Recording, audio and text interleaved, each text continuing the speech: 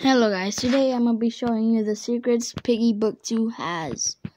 First of all, it has binoculars that are coming out of out of Leo's laundromat. It looks like nobody's in there, but I think Leo put it in. Also, you, you can't see who it is. So, let me show you this the clear picture of the binoculars. Okay guys, next is the door.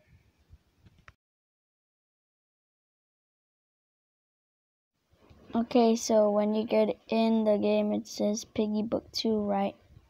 There's Willow and there's also door. The door is right here when you open the orange door. So somebody actually closed the hotel as you can see the note saying hotel temporarily closed as per requested by the LPD. So mm-hmm. guys, if you don't know, Minitoon gave the city a name called Lucilla Police Department. So guys, you could look at a note at the exit, but you can't see it when it's the cutscene. So this is what it says. Dear Willow, please take care of William while I am gone. I'll be back soon. Daisy.